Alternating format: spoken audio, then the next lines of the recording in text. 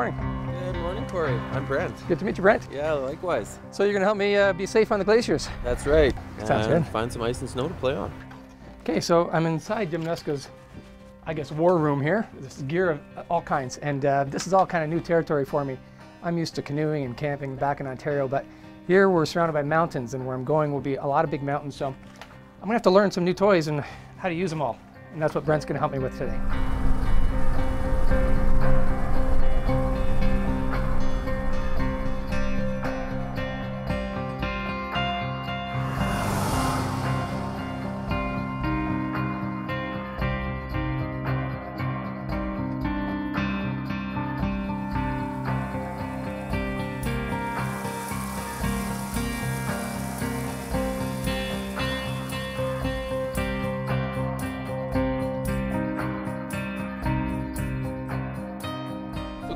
Here at Parker's Ridge, and what we've got above us here is about a 30 to 40 degree snow slope.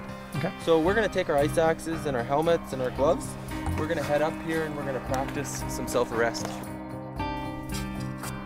Self delay? It feels like we're getting a lot of elevation, and it's looking pretty steep going down there.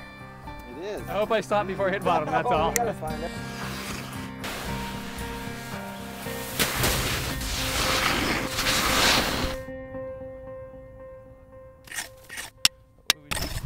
Face first, down slope.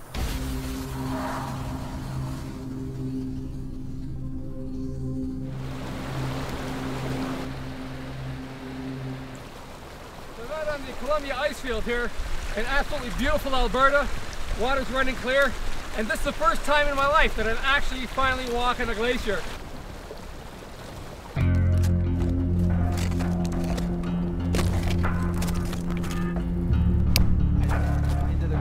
Bring that knee over.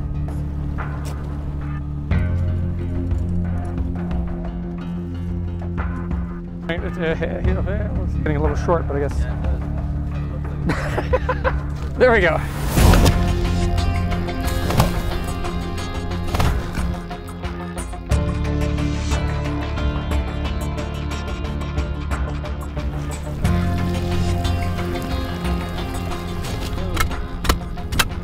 Cap will have to come off.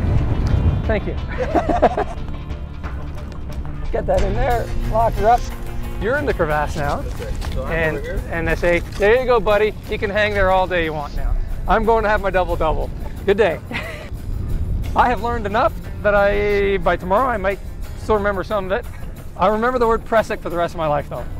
The Prusik. Yeah. Prusik?